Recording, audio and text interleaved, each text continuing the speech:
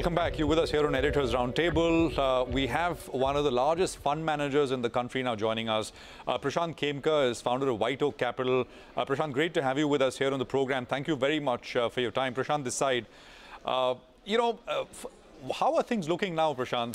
Is there a bit of an earnings risk developing? I'm asking that in the context of the run-up that we've seen in the markets.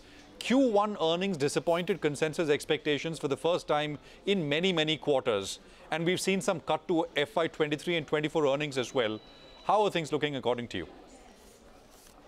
Certainly. First of all, thank you, Prashant, for having me on the uh, roundtable show. I seem like I'm the one who's uh, quite overdressed for Friday evening. uh, let's see. Uh, for the market, I think if you look at the backdrop, uh, and I'm not saying it's uh, necessarily entirely justified, but the optimism that you hear from across the spectrum, uh, not just market men, um, not just investors, but uh, uh, corporates, large, mid-sized or small, pretty much across sectors, particularly the more domestic oriented, is uh, quite unlike. Um, or, or, the last time that I can recollect such optimism would be, mm, you know, 2014-15 time frame, post the elections then, uh, or prior to that, maybe 2007 time frame. So very few times I can recollect such high degree of optimism in the um, corporate world, uh, be it large or mid or small, as I said. Uh, now, how much of that actually turns out to be true uh, remains to be seen. Uh, but if you go by with that uh, backdrop, uh, then and if that backdrop is for real, if that optimism is for real, then very likely the actual corporate sales and earnings can turn out to be a lot stronger over the next um, year, two years or so, compared to what estimates are there. Okay, Prashant, hi, welcome to our weekend show and thank you for joining us. Uh, it's great to hear that optimism has picked up, right? But we're also noticing that a lot of domestic consumption facing companies are doing exceptionally well. It's return of the capital good laggards now. Uh, private sector banks have picked up in a big way. Autos have come back in a huge way. Where do your sectoral preferences lie? Hi, Sonia. So we, uh, obviously a lot of this gets priced in well before anyone realizes, right? Uh, so we don't necessarily uh, have sectoral preferences based on what is currently showing strong strength in the um, real uh, world, because uh, very importantly, you have to look at better valuations as well. But having said that, Sonia, uh, consistent with uh, what we've always had pretty much structurally, the team finds continues to find a lot of attractive opportunities opportunities in the private sector financial space. So that would be the area of largest exposure, uh, followed by consumer in general. So it can be uh, discretionary plus staples. I would say more so discretionary, uh, which includes autos that you uh, referred to. So consumer disc, but beyond auto, also quite a lot of retail. Um, and, and other segments of uh, you know consumption. Um, so consumer discretionary, consumer staples.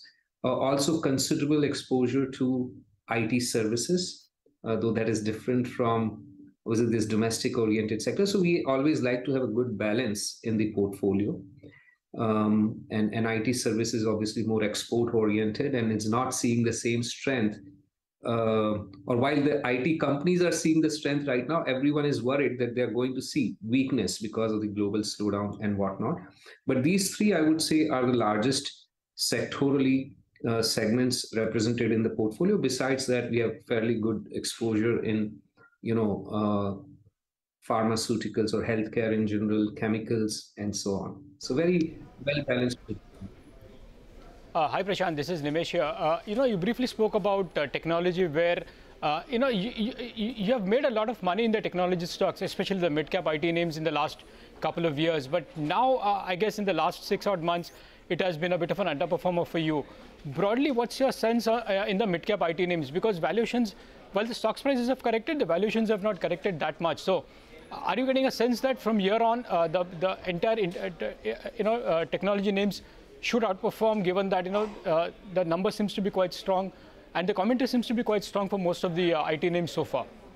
Certainly, uh, certainly, hi Nimesh. So it's very difficult to say over the next three, six, nine months. It's very possible if the US goes into recession that there would be some slowdown in demand as two thirds of the demand is for IT um, services companies coming from the US. But I think at this point, uh, it is very well anticipated and more than um, more than baked into expectations for these IT companies. So uh, it could very well be the case that the they are actually reporting uh, somewhat of a weakening um, trend in demand, and yet the stocks do uh, well in face of that. Just as the stocks have declined over the last six months without any material sign of slowdown in demand, right? Well ahead of the anticipated slowdown.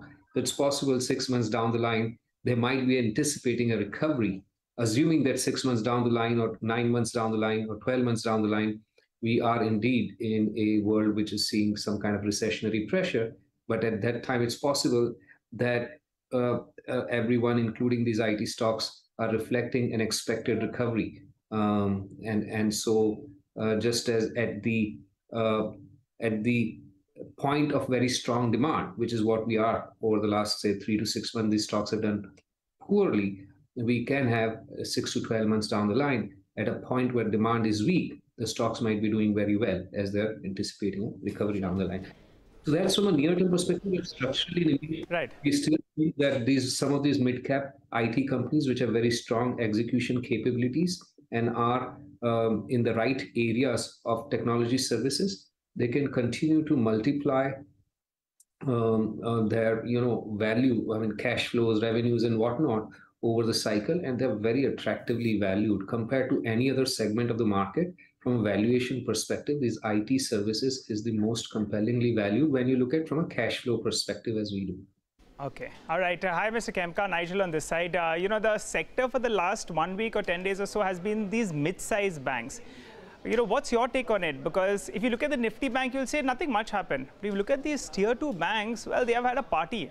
Some part of the street believes that valuation argument, majority of the back, bad news is in the price. Would you be in that camp?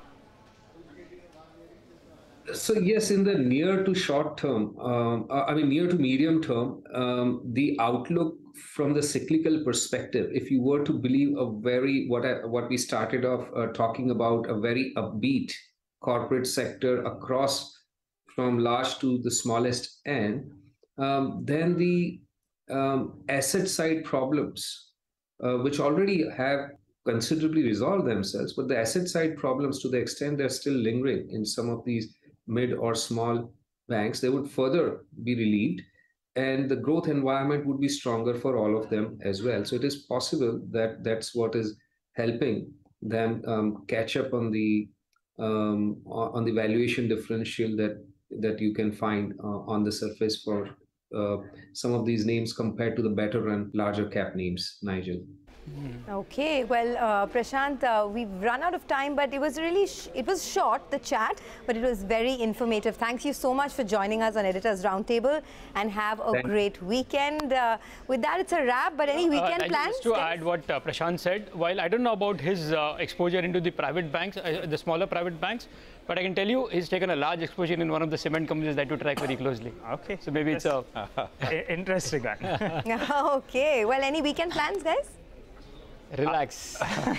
Just go home and relax. Sleep. Sleep I, am packing because I'm going to be heading to the mountains oh, next super. week. So oh, there's wow. a there's a holiday midweek holiday. So Nigel's making the most of that. Most of it. He's the youngest out of all of exactly. us. Exactly. Right? yes. Relax, sleep. Come on, guys. The movies. There are movies, there are things to watch. Go out there, have fun. All right, you folks have fun too. Uh, it's a wrap on another episode of Editors Roundtable. Have a great weekend. We'll be back bright and early on Monday.